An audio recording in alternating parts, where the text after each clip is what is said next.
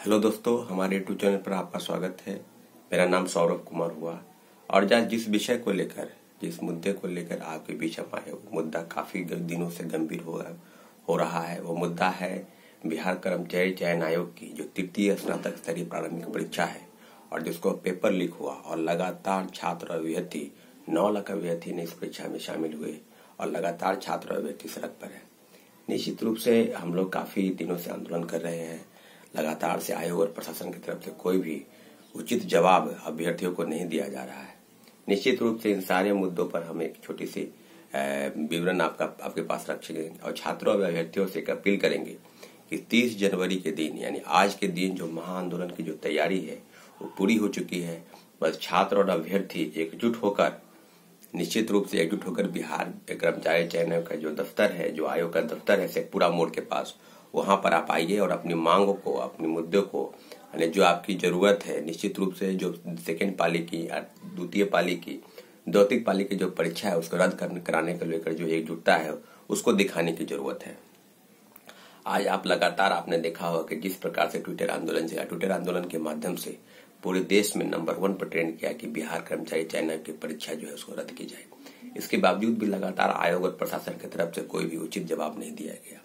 निश्चित रूप से जब चार जनवरी को महाआंदोलन हुआ तो लगातार आपने देखा होगा कि जिस प्रकार उसके बीच में भी आंदोलन हुआ। और उसी दिन जे एस गंगवार साहब प्रेस कॉन्फ्रेंस कर रहे थे तीन बजे शाम में। उन्होंने कहा कि कोई प्रश्न पत्र लीक का मामला नहीं सामने है। किसी ने फ़ोटो खींचकर यानी दो अजय और विजय खुद पास होने के लिए उन्होंने इस तरह की कुकृत को अंजाम दिया है। निश्चित रूप से इस तरह की बातें राज्य के आला अधिकारी द्वारा की गई और एक, एक जो गठन हुआ आर्थिक अपराध इकाई की टीम से एसआईटी का निश्चित रूप से जाँच किस प्रकार से चल रही थी? आयोग और प्रशासन ये जवाब देने को तैयार नहीं है। आने वाले समय में लगातार आंदोलन तेज हुआ और चार जनवरी को जो महाआंदोलन हुआ, पटना कॉलेज से लेकर और डाक बंगला चौराहे तक और डाक बंगला के बीच पहले ही निश्चित रूप से अभ्यर्थियों को, छात्रों को दौड़ा दौड़ा कर मारा गया। इस प्रकार की बातें बिल्कुल नहीं होनी चाहिए। आप उल्टे छात्र अभ्यर्थियों से छात्र नेताओं से बातचीत करने की बजाय आपने अभ्यर्थियों पर लाठीचार्ज की। इसे पूरे बिहार की खबरें, पूरा देश अनुसार हुआ कि अभ्यर्थियों पर लाठीचार्ज हुआ है।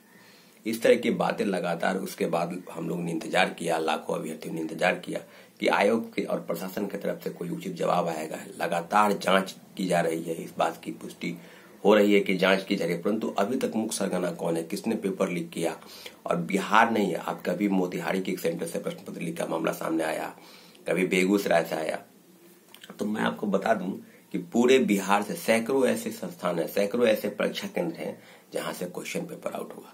और लगातार छात्र अभ्यर्थी सड़क पर है इस बात के लिए कि आखिर आंदोलन कैसे होगा। निश्चित रूप से आज जो उद्देश्य है मेरा आपके समक्ष आने का उस, उसका एक, एक ही मात्र उद्देश्य है कि भारी से भारी संख्या में आप बीएसएससी ऑफ़िस आइए। निश्चित रूप से हम अपने आंदोलन में कामयाब होंगे। लगातार सरकार और आयोग पर हम लोग दबाव बनाकर रखे हुए हैं। कि निश्चित रूप से जिस प्रकार की बातें हो रही है आयोग और प्रशासन की तरफ़ से कहीं न कहीं लीपापोती का प्रयास है। तो याद रखिए लीपापोती हम लोग होने नहीं देंगे। लगातार और छात्र अभ्यर्थी सड़क पर हैं और इस बात के लिए सरकार को आगाह करा रहे हैं, आयोग को आगाह करा रहे हैं कि छात्रों की जो मांग है बिल्कुल जायज़ है। और कल जो, तेईस को जो हम लोगों ने ज्ञापन सौंपा है बिहार कर्मचारी चयन आयोग के अध्यक्ष को, और हम लोगों ने सात दिन का, यानी तेईस से सात, तीस होता है, सात दिन का अल्टीमेटम दिया कि सात दिन के अंदर कोई अगर उचित फैसला प्रेस नोट के माध्यम से विद्यार्थियों को संबोधित नहीं करेंगे कि जाँच क्या हो रही है, जाँच का आधार क्या है, किस तरफ़ जाँच ले जाना चाहिए। अगर लिपापोती का प्रयास चल रहा है तो निश्चित रूप से ये होने नहीं देंगे। निश्चित रूप से लगातार छात्र अभ्यर्थी सड़क पर है और आज कल हमने प्रेस कॉन्फ्रेंस किया गांधी मैदान में।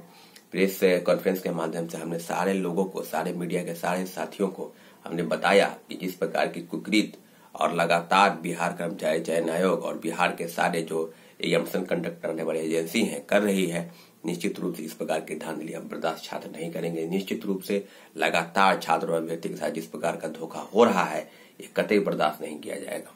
निश्चित रूप से आज की जो बात है, उसका उद्देश्य है कि हम शिक्षकों से भी, जो पटना में पढ़ा रहे शिक्षक, उनसे भी एक अपील करते हैं कि प्लीज़, आज आप क्लास बंद कर दें। आज आप सुबह से शाम चार बजे तक क्लास बंद रखें और अपने अपने जो स्टूडेंट हैं, जो आपके विद्यार्थी हैं उनको आप बताएँ कि आज का आंदोलन है। बिल्कुल शांतिपूर्वक प्रोटेस्ट होगा। हम लोग अपनी मांगों को लेकर वहीं बैठेंगे।